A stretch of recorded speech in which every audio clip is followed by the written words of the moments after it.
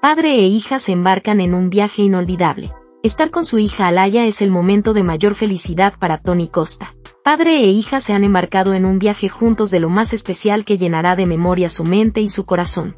Con motivo de las vacaciones de primavera, han preparado algo que siempre supone un planazo para los dos. Desde sus redes sociales, el bailarín contaba la aventura que él y su pequeña, que acaba de cumplir nueve años, han arrancado y ya están disfrutando al máximo. Si hay algo que Alaya disfruta es viajar a su segundo país, España. Allí tiene a toda la familia del lado de su papá, sus tíos, sus primos, sus abuelos. Recién aterrizamos, ambos mostraron cómo fueron esos primeros momentos en Valencia. Allí, la abuela Carmen les esperaba con un plato típico del país, el cocido. En las imágenes, Tony y su princesa se muestran saboreando el exquisito manjar que les repondría de un viaje tan largo. El profesor de baile contó que, además de estar con sus seres queridos y en la ciudad que le vio nacer, tiene muchas sorpresas preparadas para Alaya. Llegamos a España.